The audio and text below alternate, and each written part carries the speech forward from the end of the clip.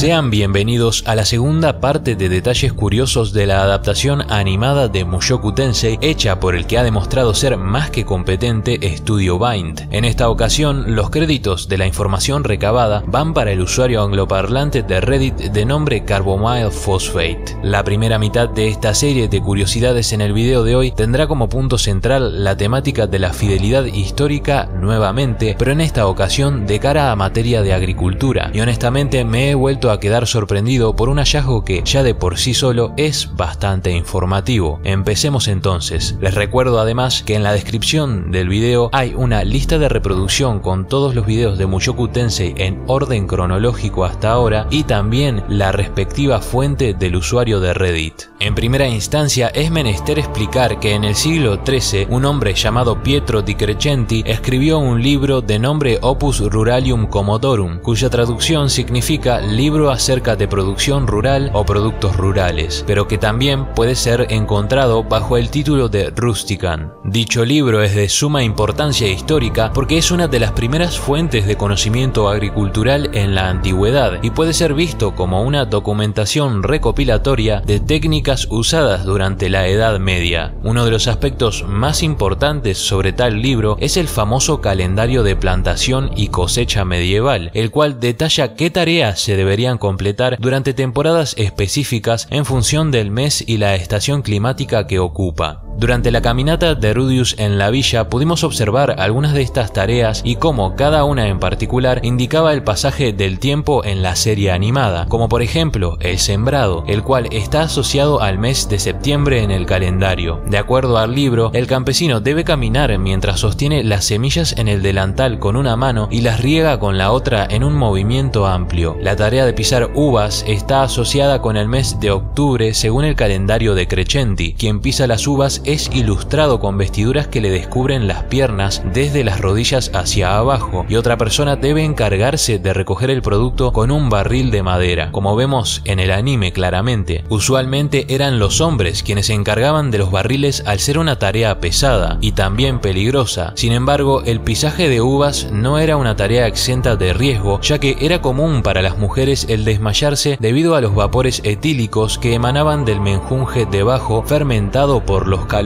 Luego viene noviembre, tiempo del glandí o cosecha de bellotas, las cuales eran empleadas para engordar a los cerdos de forma barata para el invierno debido a la alta densidad calórica de estos frutos secos. El campesino solía emplear una larga vara para golpear las ramas de los robles, provocando que las bellotas cayeran y alimentaran a los cerdos como se puede ver en el anime. Curiosamente los campesinos también empleaban el sentido del olfato de los cerdos para descubrir lugares con cierta raíces, bayas y algunos hongos culinarios bastante caros que se decía emitían un color semejante a las feromonas de una hembra en celo. Ahora explayemos un par de detalles cotidianos de la vida en campaña del medioevo. Por ejemplo, en los pozos de agua se solía colocar un tubo llamado tubo de lavado, el cual empleaban para dicha tarea, ese que tiene una manivela que podemos ver ilustrado en el anime, y también cubrían dichos pozos con planchas de madera para evitar que pequeños animales y otras impurezas cayeran y contaminaran el agua, algo que podía llevar a la muerte por contracción de enfermedades. Recordemos que en el anime de Mushoku Tensei, si bien existen curanderos y magia de curación, en la villa de Buena, Zenitsu era la única capaz de emplear este tipo de magia y a quienes recurrían los aldeanos para solventar problemas relacionados con la salud. Por otro lado, naturalmente, el cómo se dispone del heno hoy en día comenzó a ser practicado en la revolución industrial